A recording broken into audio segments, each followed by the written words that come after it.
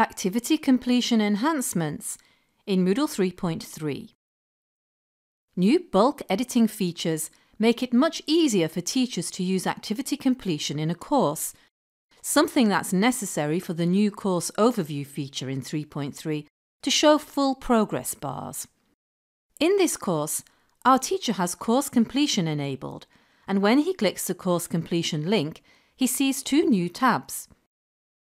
Default activity completion allows him to change the default settings for activity completion for all activities. The defaults here are manual. If he selects Folder and then changes it to View,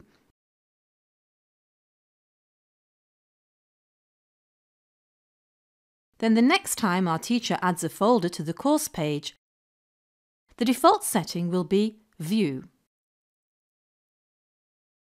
The second tab allows him to make changes to multiple course activities at once.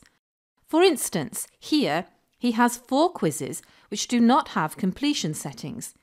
He can select them all, then, in a single step, decide how they will be marked complete.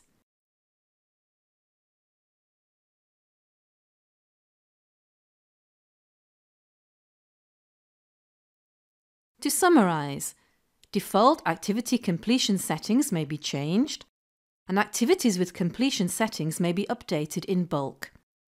Doing this will not only make your course clearer for students, but will also make the course overview in the dashboard show full progress.